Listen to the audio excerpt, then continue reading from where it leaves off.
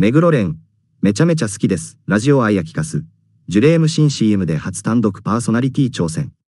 スノーマンの目黒蓮、25がヘアケアブランド、ジュレームの新テレビ CM に出演する。2月2日から全国オンエアされる。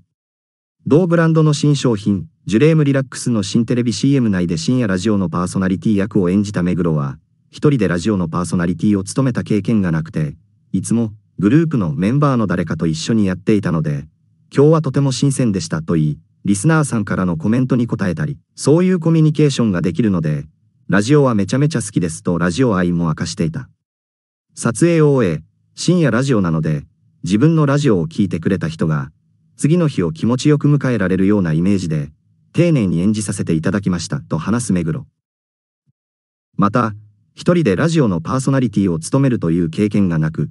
いつもグループのメンバーの誰かと一緒にやっていたので、今日はとても新鮮でしたと感想を。